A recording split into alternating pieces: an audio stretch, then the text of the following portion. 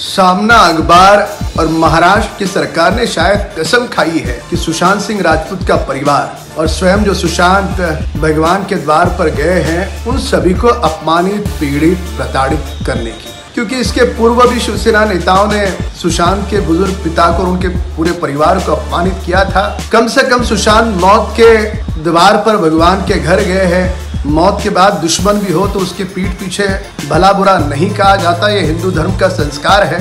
शायद शिवसेना के नेता भूल चुके हैं।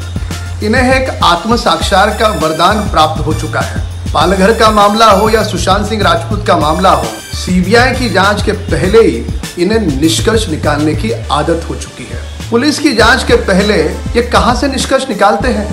कहाँ से इन्हें सपने आते हैं? इस बात का हमें अचरज कम है।